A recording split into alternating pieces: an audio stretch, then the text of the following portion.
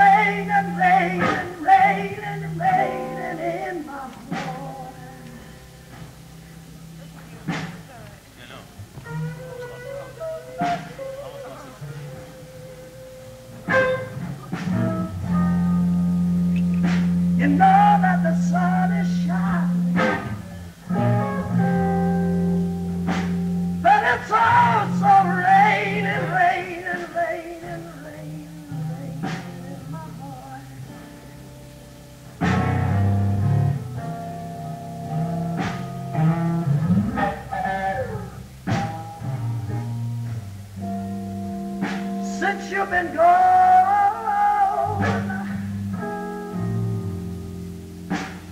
I find it so very